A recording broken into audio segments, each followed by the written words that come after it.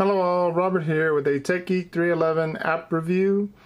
But this app is going to be for an app I've done before called 24Me, but this is the Apple Watch app. So let's go ahead and get into that. If you want to see my other videos on this app, just go ahead and subscribe and you'll be able to see my other videos that I've done. This will be the first video for the Apple Watch. So I want to give you guys an example, show you kind of how this app works, uh, what features you can do, and so forth. Now remember, it's not going to be as quick as the uh, iPhone app on this one. So uh, let's go ahead and get into it, see if I can get a good signal here and I can show you guys how this app works. Okay, now here we're in the app. So you can see the first thing it starts off with is your today screen. Now remember, this app, even on the iPhone, is having a bit of an issue uh, loading. It goes a little slow. So in the beginning, you might not be able to move anything. But as you see, it'll finally load in and it'll let you, you'll do it. So that's one thing I want you guys to be aware of. Don't think the app is broke or the watch is too slow. Just know that this app has had a few slowing issues on the phone as well. And on the Apple Watch is the same thing. You'll see that I, once I load up a page, takes a couple of seconds. Once I swipe, try to swipe across, it'll take a couple of seconds and it'll finally kick in. Now, that could be an issue with the OS software for the Apple Watch. Also, could be an issue with the app itself that I'm unsure about. That's something developers can look into. Overall, it's still the same app, the same good app that I've done many reviews on on the iPhone. So I want you guys to see that. So you've got three views here. It goes all the way up to May 9th. You have your tomorrow, and you have your today view. Any one of these, like I said, give it a little second to load.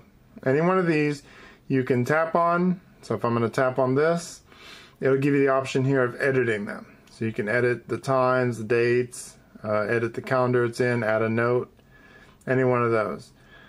So uh, you can do the same thing with the calendar events as well. So let's make sure it's got that. Alright, so now if I force touch, which is the idea of pressing in with your finger, you have the option now of adding your task, your event, and your note. Now remember, you don't have a keyboard, so this is going to be done with your voice. So I want to add a task. I'm going to tap on that. Like I said, give it a second. It's loading. And it'll load me up a blank uh, section thing for task. Same as your iPhone would. Except this one will use your voice to type in everything the same way Siri does when you speak to Siri. Give it a second on here.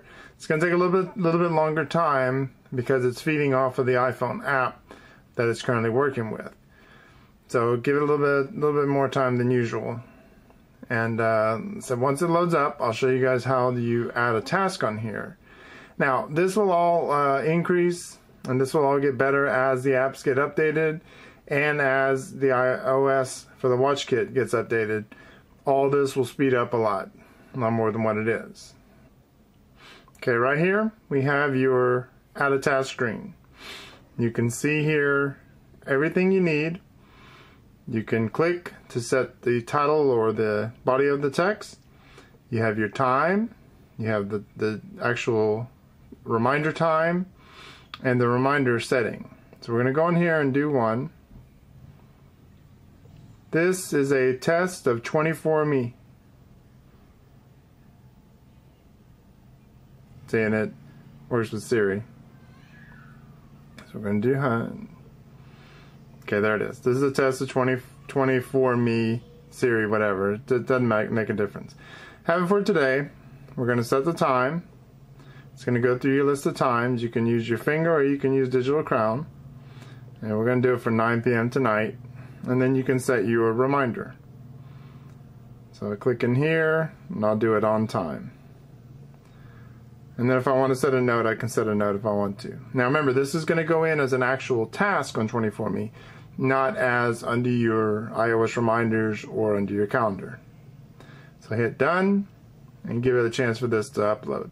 Now it might or might not show up on the watch itself, but it will show up on your phone app for sure. It might take a little longer for it to show up on your watch. And so we go in here, for example, and you don't see it in here for today. So you probably want to give it a little bit of time before it loads in. Just know it's not going to be instantaneous. Now, also with 24me, we're going to go in here, and if I scroll up here on my glances, here's my 24me. And it's going to have in here, of course, your calendar. You have your to-dos, and you have in here your notes. So if I try to tap on that, it's just going to pull me into the app. That's all it's going to do. So it doesn't matter where I tap on the glances, I'm going to be pulled right into the app itself.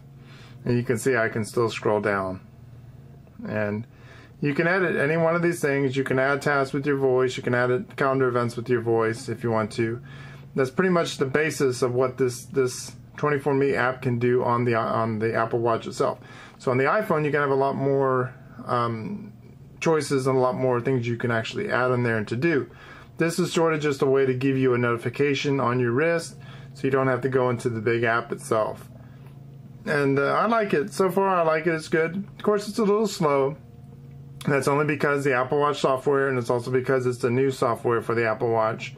Um, but I know with time that will improve, that will increase, and those things I know uh, we'll see. Um, we'll see in the further updates, and we'll see with other iOS updates and OS updates for the watch. So I'm going to give you guys basically an overview, show you guys how 24Me for the Apple Watch works, so you guys can uh, get an idea if this is an app that you have on your phone. Now you'll know how to use it on the Apple Watch. Okay, so I hope you guys liked that video. If you do, hit that like below. Don't forget to give me any comments. Subscribe if you can, and you'll get all my other videos as they come out. Alright, so uh, once again, guys, I thank you guys for watching. And this was my app review of 24Me for the Apple Watch, which is right there. Okay, have a good day. Thanks for watching.